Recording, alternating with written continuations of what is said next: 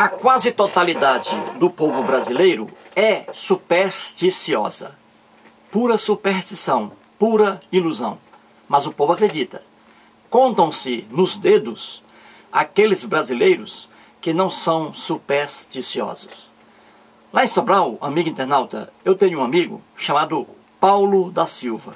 Pois bem, há dois anos eu estive lá em Sobral e conversei com ele e ele estava muito triste. Mas ele era um homem, e ainda é, vibrado em superstição.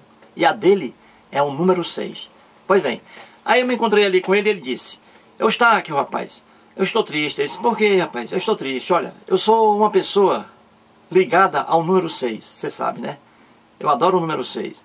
Mas eu estou triste. Ele disse, mas por que foi que houve? Ele disse, olha, é o seguinte, eu adoro o número 6 porque é o seguinte, ó, eu nasci, eu nasci no, no dia 6 de um mês 6, junho.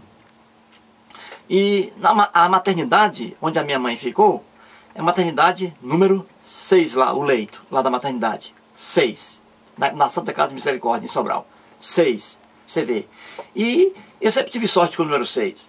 Quando foi aí há uns dois anos, eu passei pela lotérica e comprei ali uma carteira da Loteria Federal com o final 006 e ganhei 6 mil reais.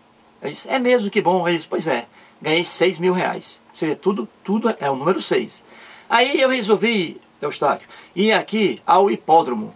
Lá em, em Sobral, minha terra natal, no Ceará, cara internauta, existe hipódromo. Aquele lugar onde os cavalos correm. Aí ele me falando, né?